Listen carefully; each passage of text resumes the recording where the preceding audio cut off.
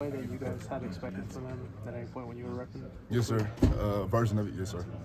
How important was it maybe just to be poised? I mean, you give up, you guys give it the touchdown right before that. You know you got to have the stop on the two point conversion. How important was it to, to have poise? It's very important. You know, adversity is going to happen. Coach V preaches that to us all the time. So, uh, you know, next play, that's uh, our mindset. So that's kind of how I was thinking on that. You know.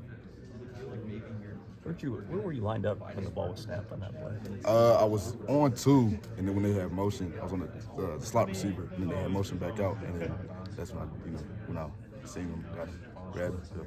So that's still a lot for a guy to think about. Yeah, it is. Right. I mean, is that is, is, there some instinct involved in that, or just Yeah. a natural ability, or what? what making a play, being a football player, Yeah. being a football player. You know, that's kind of what that was. So, Did it did it help knowing that they'd kind of run some trickery and some other stuff during the game? Did that maybe help knowing to maybe full, maybe expect that? Yeah, knowing the DNA of a team is big, and their DNA is trick plays. So yeah, having that mindset and you know understanding what their process is and what they want to get you in, it helps a lot. Have you seen that formation and that play on film yet this year? Uh, a version of it, yes sir. A version, yes sir. So today was probably as much mental as it was physical for Yeah, the most definitely, most definitely, definitely a mental game. Uh, like I said, their DNA, DNA is to trick plays, you know, motion, kind of get the defense out of whack. But you know, we watch a lot of film and prepare well. So Was the idea to get to him before he could throw? Because it looked like that's what he was trying to do. yeah, it looked like he was trying to throw it, but uh, you know, my job was to just go get him. Whatever he was going to do. Yeah, well, exactly. So Did you yeah. have time to realize the guys behind you had the receiver covered? You said I realized it? I didn't realize it. I just I was just running to the to the ball really.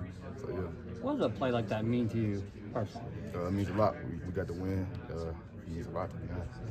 It's going to go on your highlight reel. yeah, definitely, definitely. To have as much success as you've had so far since coming here from junior college, has, has that just helped continue to build your confidence as these big plays have snowballed for you? Uh, most definitely, like you said, it's, it's helped my confidence a lot. You know, making plays. You know, whatever I can do to the team. You know, uh, whatever I can uh, give to the team, I'm gonna do it and uh, keep doing. I'm gonna keep doing it. And it's been helping me a lot. So yeah, confidence has definitely been building. Brent says you're good at just finding the ball. So even if you're not quite sure, you, you kind of just you find the ball. What is that? What is that? Instinct or? Yeah, just instinct, just being a football player. Uh, like you said, like you know, he's gonna put us in a certain call, but sometimes you just gotta make a play and be a football player. Really, that's what I, I tend to do. How do you celebrate?